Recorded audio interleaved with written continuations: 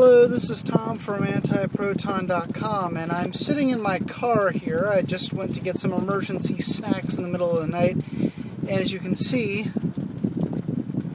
it's freezing rain everywhere. So, oh my god, I got some chips, so I'm good to go. Um, today's little thing is about uh, uh, weather. This just came off the top of my head because I was talking about how it was icing and freezing in there, and the person behind the counter wasn't 100% sure as to why it might become warmer later on, even though it seems cold now. And it occurs to me, I guess people really don't know a lot about the weather, so maybe I should say some random little factoids.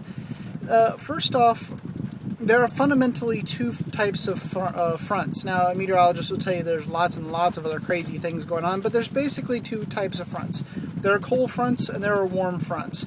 A cold front occurs when cold air pushes warm air. A warm front occurs when warm air pushes cold air. So it's kind of simple. You name the front for the for the for the driving force, whatever that might be.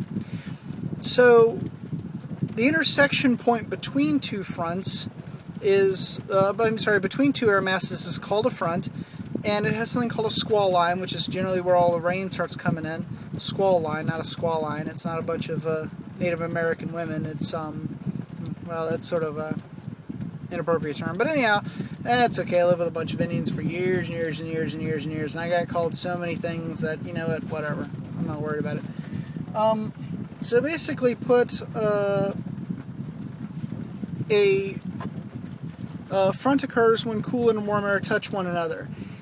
At this point, there's something called the barometric pressure. It's the amount of uh, uh, pressure that's going on in a particular area at any particular time. Uh, well, actually, um, barometric means pre- uh, uh, a measure of, of pressure, actually, because, well, that's words from Latin and Greek, or Greek and Latin, rather. Anyhow, when the when when when the temperature of the air falls below the dew point, which is the point at which water can condense, well, then water starts to condense. And uh, a good example might be of this if you take a really cold glass and walk outside on a really, really hot, humid day, steam and mist will, will immediately appear on the glass, and water will attach to it. And what's happening is the water in the air has been cool all of a sudden. The air has been cool right around the glass to just below the dew point whatever that might be. And then the water is adhering to the glass, and the glass becomes what's called a condensation nuclei, meaning it is something you, it is nuclei. It's a center of something that gets condensed upon. Condensation nuclei.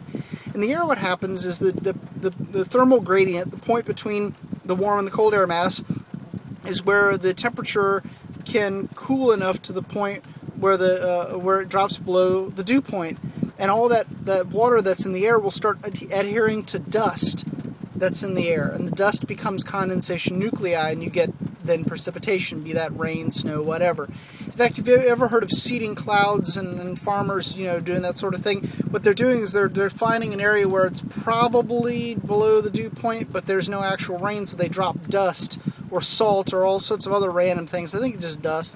But the point is, as it falls, no, it's not salt. It's uh, yeah, just dust. As you're dro- as you're dropping it, what happens is the, the the water forms around the droplets, and then falls to the ground.